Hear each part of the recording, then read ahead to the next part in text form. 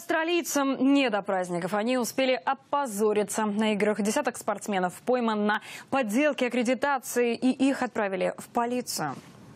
Атлеты тут просто решили посмотреть на полуфинал волейбола, где встретились команды Австралии и Сербии. Особо любопытными оказались представители других дисциплин – велоспорта, гребли, регби. Но далеко они все же не ушли. Подлог тут же раскрыли. Всех нарушителей доставили в участок. Но сурово наказывать не стали. Только решили оштрафовать, а матч, на который патриотичные австралийцы так и не попали, их страна в итоге проиграла.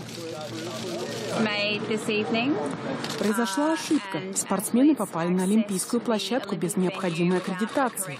Мы принесли свои извинения и согласились на штраф. Такого больше не повторится.